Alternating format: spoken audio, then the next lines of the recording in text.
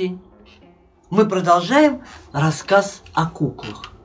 Шло время, и стали появляться первые театральные куклы. Вот перед вами маленький страусенок.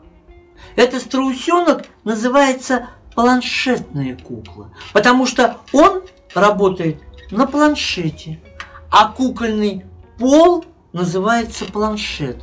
Это кукольный стол, на котором двигается кукла. Планшетной куклой управляет уже два человека.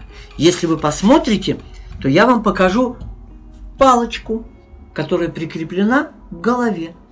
И вторая палочка, которая прикреплена к хвостику, к попе. И вот с помощью этих двух палочек один актер управляет куклой. Кукла может идти, она может садиться, она может посмотреть направо, налево, может посмотреть на вас, может покачать головой, может даже поклевать у меня из ладошки.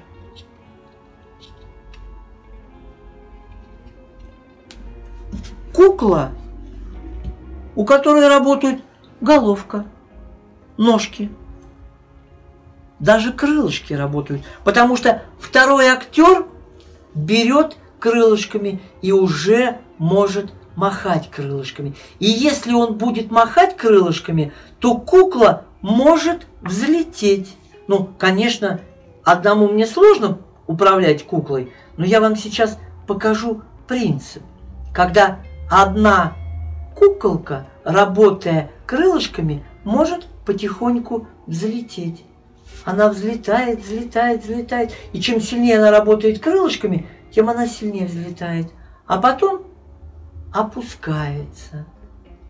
Опускается и садится.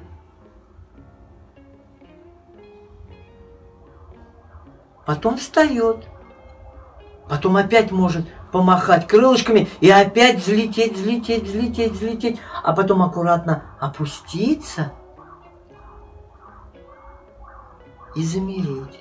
Вот такая кукла, управляясь двумя актерами, очень была распространена во всех европейских театрах. И эта кукла стала прообразом того, чтобы можно было работать в театре кукол без каких-либо сложностей.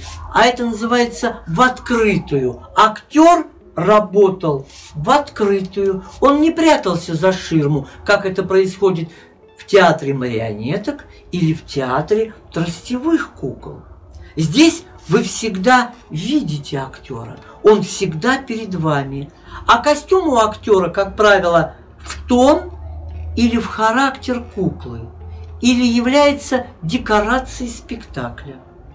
Поэтому планшетные куклы очень распространены в наших театрах кукол. Спасибо большое, вы познакомились с моим любимым и дорогим страусенком.